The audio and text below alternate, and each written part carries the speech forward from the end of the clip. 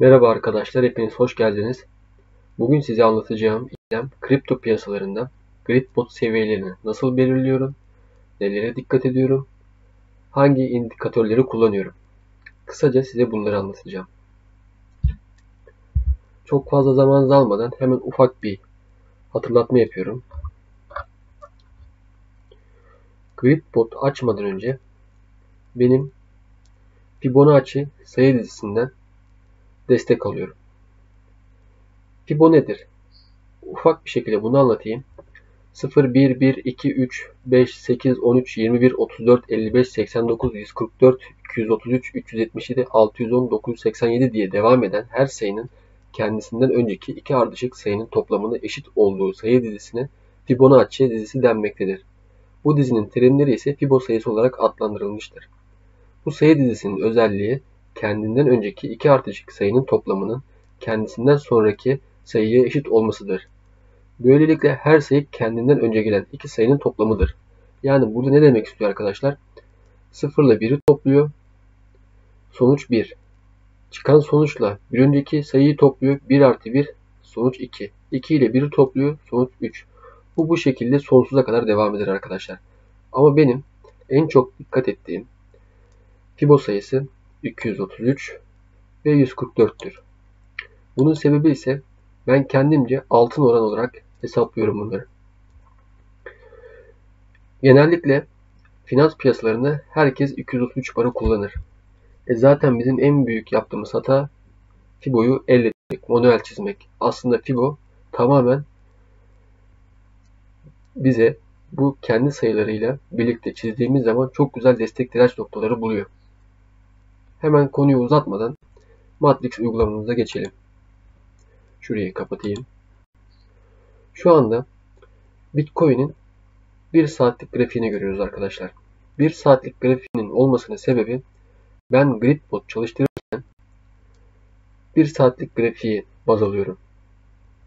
Şurada, şurada görmüş olduğunuz destek direnç çizgilerini ben zaten önceden çizmiştim. Şu anda bir işlemim var.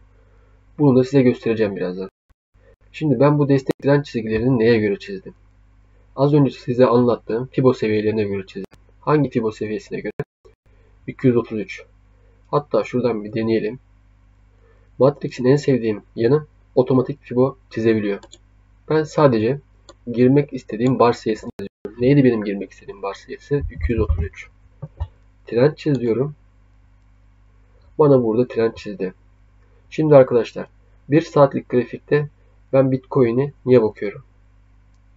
Grid botu Bitcoin'de açmayacağım. Bunun sebebi Bitcoin daha erken tepki alıyor. Şimdi örnek veriyorum. Ben buraya alt tarafa bir destek çizmişim. Bir de üst tarafa direnç çizmişim. Benim buradaki amacım şu. Bitcoin eğer bu destek seviyesini kırarsa ben botumu kapatıyorum. Bitcoin eğer üstteki direnç seviyesini kırarsa ben botumu kapatıyorum. Benim için bu arada gitmesi ideal. Niye böyle bir şey yapıyorum? Onu birazdan orası geldiği zaman anlatacağım. Bitcoin erken tepki aldığı için beni zararın bir kısmından kurtarabiliyor. Benim bulduğum coin'den önce Bitcoin düşer veya çıkar. Ona göre ben Bitcoin'e göre işlemimi durdurabilirim. Buradaki olay budur arkadaşlar. Yani demek istediğim 233 barda 60 dakikalık da ben ilk önce Bitcoin'de destek ve dirençlerimi buluyorum. Ondan sonra coin aramaya çıkıyorum. Şimdi coin aramaya bakalım. Benim sabah öğle saatlerinde açtığım bir tane Gridbot'ta bir coin'im vardı. Ben ilk önce coin ararken dikkat ettiğim şey arkadaşlar Bollinger bandları. Bunun sebebi ise bana testere lazım. Yani testereden kastım şu şekilde bana testere yapması gerekiyor ki ben Gridbot'ta ortalama yapayım, para kazanayım. Az önce size bahsettiğim Bitcoin'de ben neden desteklenen çiziyorum? Onun en güzel örneği burada. Bakın arkadaşlar Bitcoin burada düşüyor ve arka arkaya kırmızı mum bırakıyor. Bir sürü. Eğer ben Bitcoin'de desteğim kırıldığı zaman stop olsaydım büyük ihtimalle şuradaki zararlarla kurtulurdum. Eğer elimdeki eğer ben daha önceden Grid botumu açtıysam zaten burada güzel bir kar toplamışımdır. Şurada stop olduysam Bitcoin grafiğine göre zaten büyük ihtimalle ben kardan zarar etmişimdir. Yani ben bu beni buradan kurtarır Bitcoin'deki desteğim. Şimdi konumuz dağılmadan Bollinger bandını anlatıyorum. Bollinger bandında ise dikkat ettiğim grafik hem üst para değecek hem alt para değecek. Bakıyorum üste değmiş. Arada çok güzel bir grid yapmış. Testrelemiş. Sonra tekrar alt para değmiş. Üste değmiş. Ortaya değmiş. Değmiş. Şimdi tekrar orta barı zorluyor. Yani coin ararken ben Bollinger bandından destek alıyorum. Benim için Bollinger bandı vazgeçilmezdir. Hatta geçmişe doğru gidelim. Bakın çok güzel bir şekilde Bollinger bandı çalışmış. Çok güzel bir şekilde grid yapmış. Yani şurada bir işlem açmış olsaydım ki büyük ihtimalle ben bu işlem açmışımdır. Bitcoin'deki desteğim kırılmıştır. Ben stop olmuşumdur. Ben burada işlemimi kapatmışımdır. Dediğim gibi ben burada işlemimi kapattıysam, şurada işlemdeysem gridde ben büyük ihtimalle kardan zarar etmişimdir. Şimdi arkadaşlar ben seviyemi nasıl belirliyorum? Grid bot, bot açacağım ama seviyelerimi nasıl belirliyorum? Yine aynı şekilde arkadaşlar burada görmüş olduğunuz Fibo 233 var. 233 bar olduğu için ben bunda trend çizmedim. Burada zaten baktığınız zaman hani destek direnç arasında 14 Haziran'dan beri yani 24 saatten fazladır destek direnç arasında gidip gelmiş. Testler yapmış. Aşağıya düşmüş, yukarıya iğne atmış, tekrar aşağıya düşmüş, yukarıya çıkmış. Bu saatlik grafik arkadaşlar unutmayın. Saatlik grafik deyince yine tekrar aşağı düşmüş, tekrar yukarı çıkmış. Şu anda yukarıya doğru yol alıyor. Yukarıya doğru çıkışını sürdürüyor. Ve ben burada gridde çok güzel para kazanırım ve ufak miktarlarla. Peki ben burada desteğimi, direncimi nasıl belirleyebilirim? Bunun en güzel örneği yine dediğim gibi aynı şekilde eğer gün içinde ekrandaysanız ve botunuzu takip edebiliyorsanız grafiğin bulunduğu destek değil de onun bir alt desteğinden yani şuralardan 0.29 seviyesi var şurada mesela. Buradaki destek alt limit belirlerim. Aynı şekilde şuranın ortalarında ise yani direncimizin şu direncin ortalarında ise bir üst limit belirlerim. Eğer evdeysem sürekli takip edebiliyorsam. Ama evde değilsem ben bunu buradaki en üst direnci üst limit olarak belirlerim. Burası değil de alt limitte burayı belirlerim ki grid yapsın diye. Ama şunu unutmayın bizim aralığımız ne kadar dar olursa o kadar çok al sat yapar. O kadar çok grid yapar ve bize para kazandırır arkadaşlar. Bunu unutmayalım. Şimdi birazdan size benim sabah öğle saatlerinde açtığım botu göstereceğim. Orada ben nelere dikkat etmişim? Alt bar neyi almışım? Üst bar neyi almışım? Ona bakacağız. Şimdi Şu anda bu benim saat 1'de açtığım grid bot. Ortalama gelirleri bana 16-17 dolar olmuş. Yani bunun hepsi kar değil tabi. Bunun 1 doları 1,5 dolarını biz komisyon desek bana şu anda 15 dolar net karı vardır. Hatta şunu bir güncelleyelim. Ben az önce güncellemiştim. Belki fiyatı değişiklik olur. Yok arkadaşlar değişiklik olmadı. Şu anda 16 dolar bir karı var. Ama burada dikkat etmeniz, dikkat etmeniz istediğim şey bakın ben 400 tane lot almışım. Bunun sebebi arkadaşlar yani benim şuraya bağladığım miktar 180 dolar civarı. Çünkü bende her işlemde bu her ızgaraya 5 dolar harcıyor. Her 5 dolar, her ızgarada 5 dolarlık alım yapıyor. Ben toplamda 40 dolarlık bir ızgara yapıyorum. Şimdi bunu ben nasıl kurdum? Ne demişim? Üst limitim 34.500, alt limitim 28.300. Buradan bakalım. 28.300 demişim. 28.300 neresi arkadaşlar? Hemen kontrol ediyorum. 28.300 alt direnç. Yani benim aldığım yer şurası. Buraya hiç mi inmemiş. Yani şuradaki benim ızgaralarım aslında boşa. Boşa almışım. Üst tarafını seçmişim. 34.500.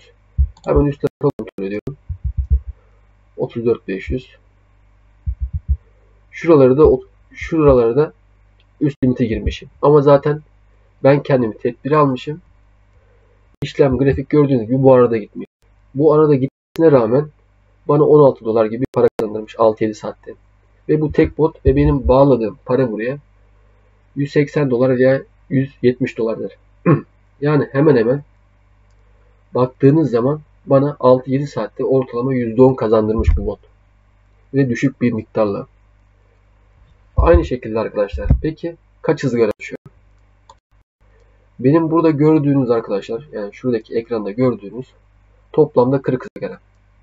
40 ızgara üst 0.34.500 alt limitim 0.28.300 ve ızgara başına 400 lot 4 coin oluyor bana.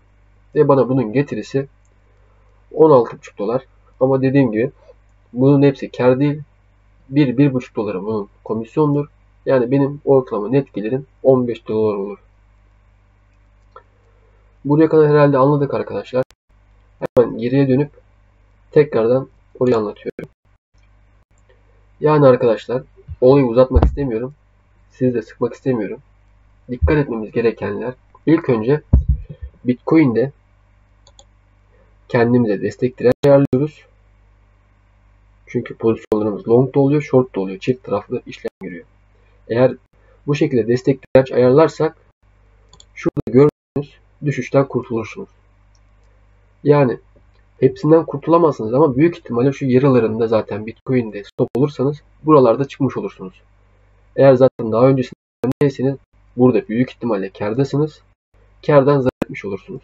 Aynı şekilde coin seçerken ise ben genelde Binance'ın en çok işlem gören coinlerini seçiyorum. Çünkü onlarda biraz daha çok işlem hacmi yüksek olduğu için testere piyasası daha çok oluyor. Yani bana bu şekilde grid yapması benim işimi görüyor para kazandırması için. Tabi arkadaşlar bu benim kullandığım bir strateji. Bunu siz geliştirebilirsiniz. Yani şu şekilde az risklerle birden fazla bot açarsınız. Örnek veriyorum. 3 tane bot açarsınız. Günlük 15 dolar minimum zaten bir getirisi olur bunun size. Tabi o günün volatilitesine de bağlıdır. BTC düşer. Fazla bir gelir olmaz. O tamamen o günün akışına bağlı. Ama günde sizin riskinize göre 3 dolar hemen düzeltiyorum. 3 bot da açabilirsiniz. Bir botla da devam edebilirsiniz. Zaten ortalama bir botun size 200 dolarda günlük getirisi 20 dolar civarı olur. Bunu ay bazında vurduğunuz zaman düzenli ve disiplinli bir şekilde gittiğiniz zaman gerçekten çok ciddi rakamlar kazanabilirsiniz arkadaşlar. Hani bir bot çalıştırsanız bile günlük ortalama 20 dolar kazansanız aylık size getirisi 600 dolar olur. Bu işlemi düşük miktar olarak bakmayın, aylık bazda bakın ve günlük getiri olarak bakın arkadaşlar. Benim anlatmak istediğim bu kadar. Dediğim gibi Fibo seviyesi 233 var. Baktığım, incelediğim grafik 60 dakikalık grafik kullandığım indikatör Bollinger bandı sebebi ise bana testere piyasası olup olmadığını gösteriyor ve ne kadar çok üst limite ne kadar çok alt limite değerse benim için kazanma oranım daha yüksektir. Dediğim gibi bu vadeli bir işlem risk içerir. İşlem yapmadan önce bu riskleri göz önünde bulundurun ve hiçbir şekilde bu yatırım tavsiyesi değildir. Ben sadece kendi kullandığım stratejiyi sizlere anlatmak istedim arkadaşlar. Bu video hakkında görüşlerinizi, yorumlarınızı bir sonraki videonun ne hakkında olmasını istediğini, istediğini yazarsanız mutlu olurum.